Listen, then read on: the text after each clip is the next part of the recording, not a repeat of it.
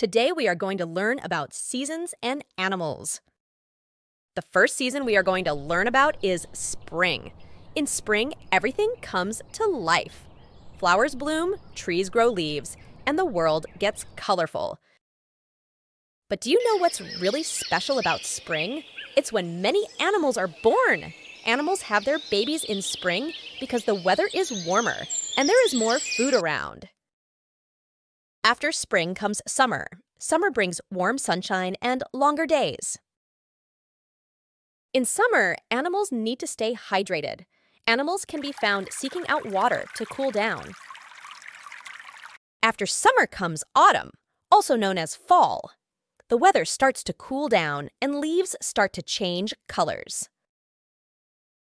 In autumn, many animals work hard to store food for the winter months ahead, and some migrate south.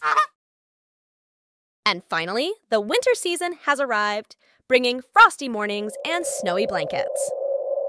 During winter, animals use different strategies to keep warm. Some grow thicker fur and some go into hibernation, a long sleep until it's springtime again.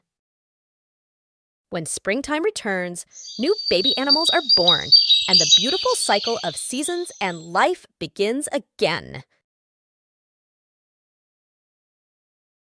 Thanks for learning with us. Make sure to subscribe for future videos.